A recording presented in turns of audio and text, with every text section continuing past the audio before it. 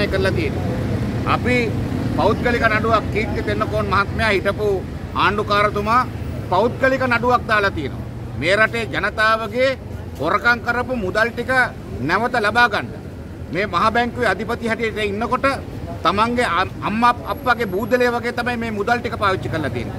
අන්න ඒක නිසා ඒක නිසා මම අපි අපි කියන්නේ රටේ ජනතාවගේ මුදල් හොරකම් කරපු මුදල් ටික නැවත ලබා ගන්න. සමහරක් කට්ටිය ඉන්න ෆයිල් තියාගෙන ඉන්නවා.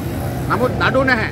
අපිට ෆයිල් එක ලැබුණ ගමන්ම අපි නඩුව දාලා මේ රටේ ජනතාවගේ මුදල් ටික නැවත ලබා ගන්න අපි කටයුතු කරනවා කියන එක මේ අවස්ථාවේදී පැහැදිලිව ප්‍රකාශ කරන්න කැමතියි.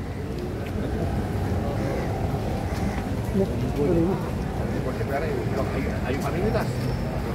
Hay que apoyar. Así. Así.